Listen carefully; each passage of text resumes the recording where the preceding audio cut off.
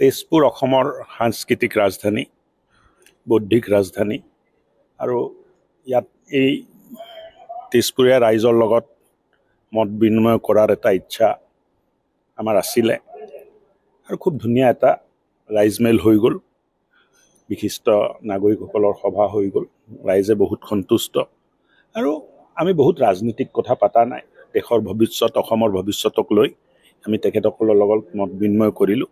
আৰু মুখ্যমন্ত্ৰীয়ে যোৱা তিনি বছৰৰ কৰা কাম আৰু বিজেপি চৰকাৰৰ আঠ বছৰৰ কামত তেখেতসকল বহুত সন্তুষ্ট হৈ তেখেতসকলে আশীৰ্বাদ দিছে আৰু অহা ইলেকশ্যনত ভাৰতীয় জনতা পাৰ্টীৰ নেতৃত্বৰ ওপৰত তেখেতসকলে পূৰ্ণ আশীৰ্বাদ দিব বুলি তেখেতসকলে আমাক জনাইছে। আমি সুখী যে বিশিষ্ট নাগৰিকসকলৰ জৰিয়তে এই বাৰ্তাটো সমগ্ৰ তেজপুৰ লোক শোণিতপুৰ বিধান লোকসভা সমষ্টিত বিয়পিব। আৰু মই ভাবোঁ যে ইয়াত মানে টেকনিকেলি ক'ব গ'লে কোনো প্ৰতিদ্বন্দ্বিতা ইয়াত নাই। তথাপিও আমি কোনো ক'তো আমি লুজ কৰা নাই ক'তো আমি ঢিলাই দিয়া নাই। চবে লাগি আছে আৰু মই ভাবোঁ যে এতিয়া আমাৰ প্ৰত্যেকজন বিধায়কে চিন্তা কৰি আছে যে কোনজন বিধায়কে বেছি ব্যৱধানত নিজৰ বিধানসভাত ছিটটো জিকাব পাৰে। চ' মই ভাবোঁ যে এইটো এটা হেল্ডি কম্পিটিশ্যন আমাৰ নিজৰ বিধায়ক নজন বিধায়কৰ মাজতে চলি আছে। আৰু ছিট জিকাটোতো নিৰ্ঘাতে তাততো কোনো কথাই নাই।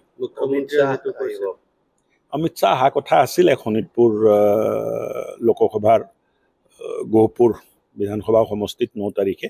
কিন্তু কিছু কাৰণত এই ভ্ৰমণটো বাতিল কৰা হৈছে। ন তাৰিখে তেখেত তেখেত নাহে। ইতিমধ্যে মুখ্যমন্ত্ৰীয়ে কৈছে যে আপোনাৰ সমষ্টিত সৰ্বাধিক ভোট হ'ব আৰু আশী হাজাৰ লিড দিব মুখ্যমন্ত্ৰী ডাঙৰীয়াৰ মৰম স্নেহ মুখ্যমন্ত্ৰী ডাঙৰীয়াৰ আশীৰ্বাদ যদি থাকে মই ভাবোঁ যে তেখেতে বিচৰা ধৰণে আমি কাম কৰিব পাৰিম। তেজপুৰ অসমৰ সাংস্কৃতিক ৰাজধানী বৌদ্ধিক ৰাজধানী আৰু ইয়াত এই তেজপুৰীয়া ৰাইজৰ লগত মত বিনিময় কৰাৰ এটা ইচ্ছা আমাৰ আছিলে আৰু খুব ধুনীয়া এটা ৰাইজমেল হৈ গ'ল। বিশিষ্ট নাগৰিকসকলৰ সভা হৈ গ'ল। ৰাইজে বহুত সন্তুষ্ট আৰু আমি বহুত ৰাজনীতিক কথা পতা নাই। দেশৰ ভৱিষ্যত অসমৰ ভৱিষ্যতক লৈ আমি তেখেতসকলৰ লগত মত বিনিময় কৰিলোঁ আৰু মুখ্যমন্ত্ৰীয়ে যোৱা তিনি বছৰৰ কৰা কাম আৰু বিজেপি চৰকাৰৰ আঠ বছৰৰ কামত তেখেতসকল বহুত সন্তুষ্ট হৈ তেখেতসকলে আশীৰ্বাদ দিছে আৰু অহা ইলেকশ্যনত ভাৰতীয় জনতা পাৰ্টীৰ নেতৃত্বৰ ওপৰত তেখেতসকলে পূৰ্ণ আশীৰ্বাদ দিব বুলি তেখেতসকলে আমাক জনাইছে। আমি সুখী যে বিশিষ্ট নাগৰিকসকলৰ জৰিয়তে এই বাৰ্তাটো সমগ্ৰ তেজপুৰ লোক শোণিতপুৰ বিধান লোকসভা সমষ্টিত বিয়পিব। আৰু মই ভাবোঁ যে ইয়াত মানে টেকনিকেলি ক'ব গ'লে কোনো প্ৰতিদ্বন্দ্বিতা ইয়াত নাই। তথাপিও আমি কোনো ক'তো আমি লুজ কৰা নাই ক'তো আমি ঢিলাই দিয়া নাই। চবে লাগি আছে আৰু মই ভাবোঁ যে এতিয়া আমাৰ প্ৰত্যেকজন বিধায়কে চিন্তা কৰি আছে যে কোনজন বিধায়কে বেছি ব্যৱধানত নিজৰ বিধানসভাত ছিটটো জিকাব পাৰে। চ' মই ভাবোঁ যে এইটো এটা হেল্ডি কম্পিটিশ্যন আমাৰ নিজৰ বিধায়ক নজন বিধায়কৰ মাজতে চলি আছে। আৰু ছিট জিকাটোতো নিৰ্ঘাতে তাততো কোনো কথাই নাই।